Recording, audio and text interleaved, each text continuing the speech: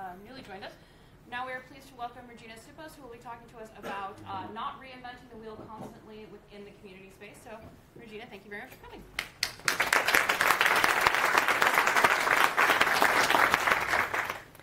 Thank you very much, uh, all of you, for being here. A disclaimer I'm not a community manager whatsoever, so um, I hope it's still going to be to be fine. Um, this is the slide that you do not have to read. Um, what I wanted to start with is um, the Social Digital Innovation um, Initiative um, that I'm going to be referring to tonight, um, a German non for profit company. Um, and we are basically a traveling circus, which is important for you to know because it's going to be very important for our community. Traveling circus means uh, we piloted in Berlin last year, then we were invited to Hung. Oh, then, yes, like this. Okay. the, the microphone is for the live stream. Right. Yeah. Okay. the traveling circus. Uh, we piloted in Berlin last year, um, and then we were invited to Hungary um, to run our program, which you're going to be knowing, learning a bit more about in a second. Um, and this year, we're actually planning uh, on running programs uh, in the Adriatic region and in Brazil. Uh, what we do, these programs, uh, are open collaborative processes, um, and the idea is to help um, cross uh, pollinate um, basically tech um, and social initiatives. Um, what we try to do is uh, not to replicate um, existing infrastructures, such as uh, networks and groups of local people, or co working spaces, things that would normally be relevant to our program. Uh, but we think that we can also source these from, um, from other people. The idea is that we do not want to duplicate um, existing things. Um, what we do do is uh, we build uh, bridges for collaboration uh, between open source um, technology, uh, be that software or hardware, um, and social innovators. Uh, and we help them develop um, sustainable and impactful projects together. Um, we teach them social business skills. Um, but before I go ahead with that, uh, there is one thing that I want to clarify. Uh, when I say social entrepreneur or social innovator, um, the person that I mean is not the one um, in this hat um, and with the cigar.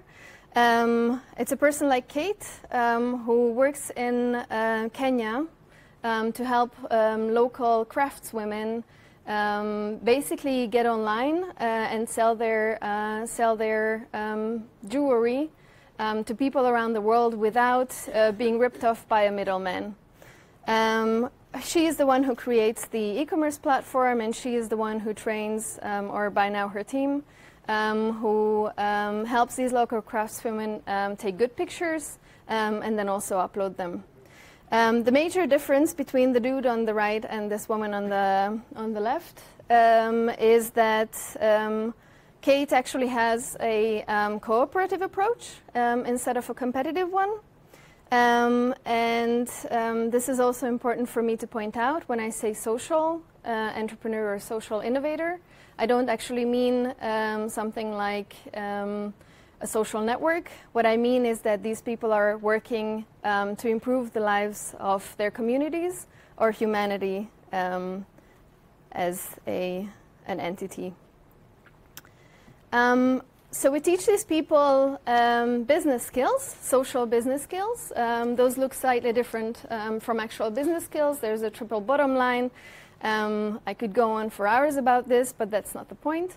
Uh, one of the things that we always um, point out is this, is this concept that Ashoka has developed, uh, a foundation working with social entrepreneurs called the Smart Network.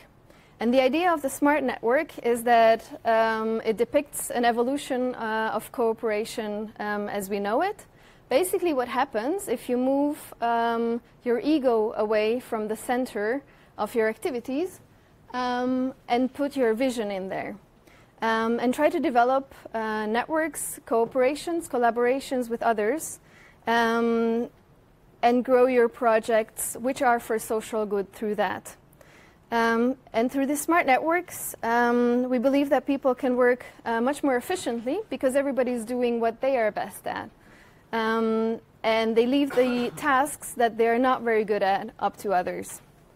And so this is why today I want to talk to you about um, setting up communities um, in more of a critical way. Um, because if we uh, ourselves, uh, when, we, when we are supporting social projects, um, we actually ask them and teach them that they have to cooperate, um, then maybe we should be doing that, the same thing with our community platforms too. Um, I'm sure this has already been discussed today a million times, the different types of communities. When I say community, um, I think of the communities of interest, um, people with specific knowledge um, on a certain topic. And so what worked?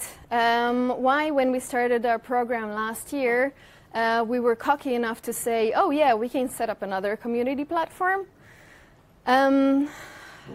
My colleagues and I um, have worked um, for a very long time for um, a, an agency of the United Nations. Um, it's called the ITU, the International Telecommunication Union. And so our platform uh, that we set up there had 18,000 people worldwide, um, growing in the first couple of years. Um, I'm pretty sure that we could have, you know, improved, even improved these numbers further. They were actually coming from 180 different countries. Um, the reason why it worked, um, that platform for us, is um, because when we set up the platform, we kind of launched it with a huge global event. Um, and we built um, the beginnings um, basically on a data set, a, a, list of emails uh, of people who have already participated in different, in different competitions that we had organized before. So we knew that this platform would be relevant for them. Um, there was also this aspect of continuous engagement um, on the platform because every year we announced four to five challenges um, to which people could apply, and these were broad enough or open-ended enough that um, that they did attract a lot of people. Um, we also had quality content coming from different mentors, um, so people had a reason to check back often enough uh, to find something, a little treat on this platform. And um, the other thing that helped was that there was also a gamification uh, aspect built into this platform. Uh, so people who have applied um, to these challenges um, could get vote uh, uh points uh, when uh, their ideas were voted upon. and so there was this in incentive for them to invite people um, their friends, uh, vote on each other, um, and basically just um, work, work together. And so the adaptation went fast, uh, really, really fast, um, probably also because it was the UN, um, and a lot of people would like to have this stamp of approval on their projects. Um, but also because people generally, I think, like to share their ideas and their views. Uh, and I think, of course, also part of it was because you could if you won a challenge, you could actually win a free tip, trip to somewhere nice. Um, and so, what did we learn um, last year when we tried to set up a, a, different platform and why it did not work? Um, when I left the ITU, um, I decided to launch this SDI project, the Social Digital Innovation Project. Um, and as I said before, the nature of our program is that we uh, don't really actually want to build anything that is already out there, um, simply because we think that it is a waste of um, everybody's time and energy. Um, we also, our city or um, at the max, country level engagement is more, um, if I may say so, one off. Um, so we go somewhere and we run these events, bring people together and incubate a bunch of them, uh, but then we're basically out of there. Um, this should change soon uh, when we are going to be developing uh, our legacy program, uh, basically inviting trainers um, to learn how the whole thing works um, and then run it after we're gone. Um, completely separate from us um, if they don't want to don't want to be part of it anymore. But we actually also, I have to say that we did not have the right capacities um, to, um, to really bring uh, a good community together. Um, we're also going to have a bunch of knowledge products that we're working on. Um, even if um, these are already um, CC attribution share alike. Um, the problem with that is that even though these are going to be collabor- collaborative at some point, um, at this stage um, they're not. And so, why will we, um, even if we can say that we can work without a, a community platform, why do we want to have one um, at one at some stage? Um, we would actually like to build, uh, continue building these bridges. Um, and currently, there is no other platform where the two target groups that we're working with um, are truly present. The two target groups being um, the techies and the social entrepreneurs or social innovators. Um, we also want to, um, of course, the most important point of this is cross pollination. Um, so the idea that uh, both uh, both communities can actually work from each other, um, learn from each other, and work together with each other. We would also like to make sure that all the knowledge um, that people are sharing, all the ideas, um, everything that the mentors bring in throughout the incubation program um, is actually collected um, and um, and collectively also worked upon somewhere. Um, we're definitely looking at turning these into open educational resources. we might as well, you know, just start out with a wiki. It's perfectly fine. We also need this, um, or will be needing some sort of a platform um, in the future, um, because um, when we're talking about these local communities, um, it is very, very important for them um, to actually be able to to work together with global communities, and these global communities also will want to have an effect on these local communities. Um, However, for people to be happy with this platform, uh, something that we will definitely want to make sure um, is that um, they feel like they belong to this community um, and that they have um, this sense of um, security um, and trust, which is, I'm sure, also is often mentioned when talking about online communities. And so we also are going to develop or have to find ways to develop incentives for people to check back every day or as often as possible. And so for um, coming to this platform um, to become a habit, so to say, and maybe part of their identity. So um, for us at this stage, the question would be um, either are there any tech community platforms out there um, that would be interested um, in having more social innovation going on in their community?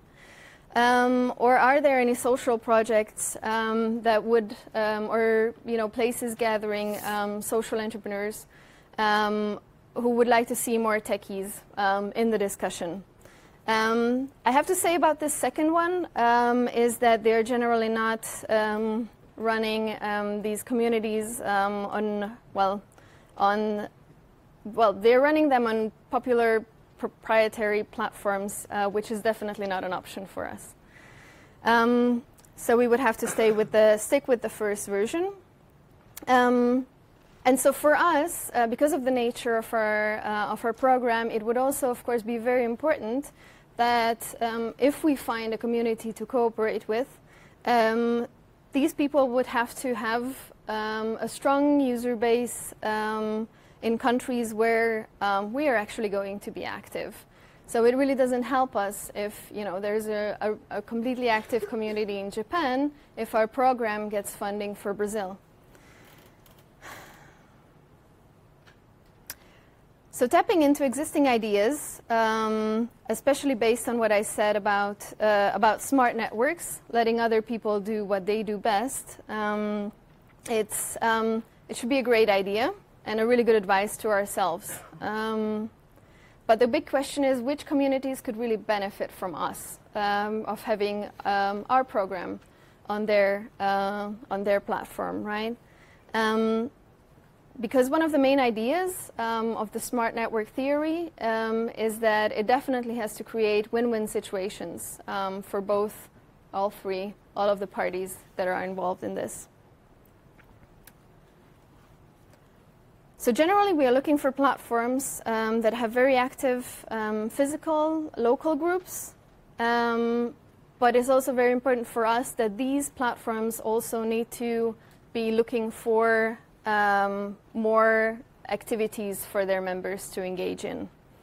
Um, and so the ones that we have looked at, um, they're already in the social tech scene. This is how we also got in touch with them mainly looking at um, the OSCE Open Source Circular Economy Days um, and Edgeryders.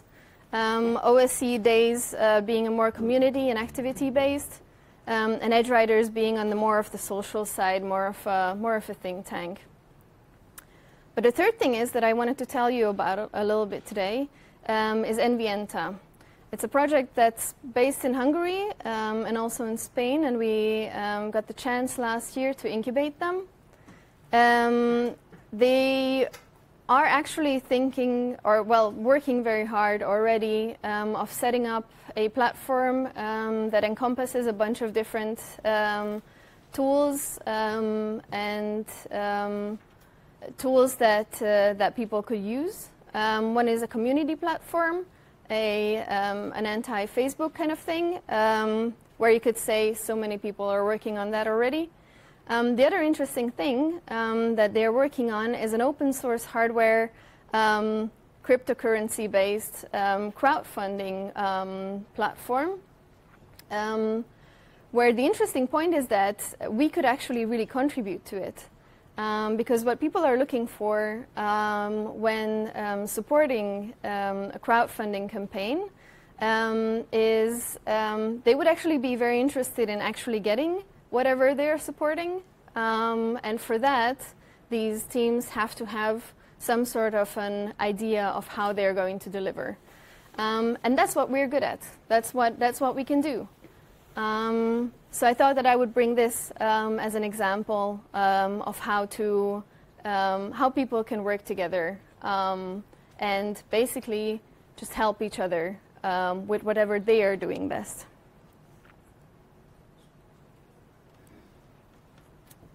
So to start concluding, because this day has been very long for all of us. Um, the platform, the audience, and also the value proposition to your audience um, has to be a very, very good fit um, for it to work. Uh, and with this smart network um, theory, um, I think we can say that um, the whole can actually be greater than the sum of its parts um, through collaboration and through cross pollination and everybody doing the things they're best at and leaving up to others what they're much better at. Um, what worked for us um, in the first round was starting with a big um, engaging event, but I think um, in the long term, what can also, of course, work um, is being patient um, and slowly building up the community. And something that you definitely already know is finding ways to not to have hierarchies, not to have top-down uh, management, but still good community management um, in your community, and to create incentives for people um, to actually stay um, in the community and come back as often as possible. So at this stage, um, I uh, also would like to make turn this into an open call. Um, if you have any ideas um, where we could be useful um, for a community that you know about, um, then definitely let us, let us know. Um, for a chat, you can write me on my first email. If you know collaborations, any ideas come up, uh, then I'm available on the second one. And any kind of academic ideas can go to the third. You can also find me on Twitter. and one last call, uh, one last thing before before I finish. Um, as I mentioned, we are actually going to be uh, starting our um, next incubation cycle very soon um, in the Adriatic Ionian region. Um, so if you know anybody who could be interested, um, then definitely send them our way. Thank you.